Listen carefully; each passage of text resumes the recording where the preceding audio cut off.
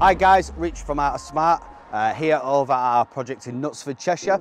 So uh, this video is just a little bit of a site update. Obviously, as you can see from behind me, things are still quite a way off.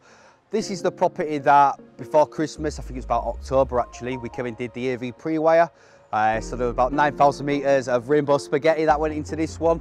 Uh, we actually got that in in a day, long day mind, with uh, squad of nine of us. Uh, that's all pulled in. We've let the electrician, so not doing electrics on this project, but the electrician has done his bit and we're come this week ready to start second fix. So this project is going to have um, full Control4 lighting. We have about 72 channels of RGBW DMX dimming colour changing strips.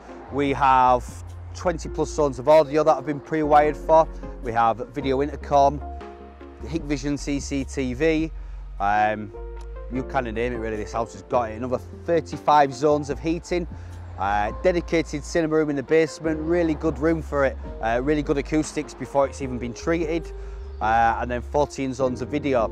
So we're probably going to use an AV over IP solution at this house, um, either Just Add Power or the Binary MoIP system.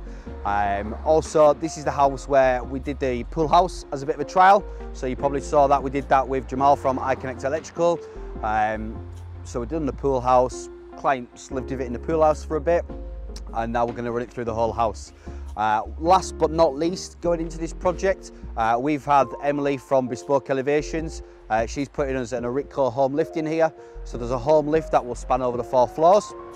Went down the tree on our Instagram story the other day actually, how we said how we were going to tie the lift so that say if an AV zone, so after say 10 o'clock on an evening, if that living room TV is turned off, the lift will come down to the ground floor, ready to pick the owner up and take him up to bed. Likewise, on a morning, if his alarm clock goes off through the Control4 system, um, that will bring the lift up to the third floor to the master suite. So there's going to be lots of cool stuff, loads of really cool programming. Um, it's just going to be an awesome project, so we'll take you in and let you have a look.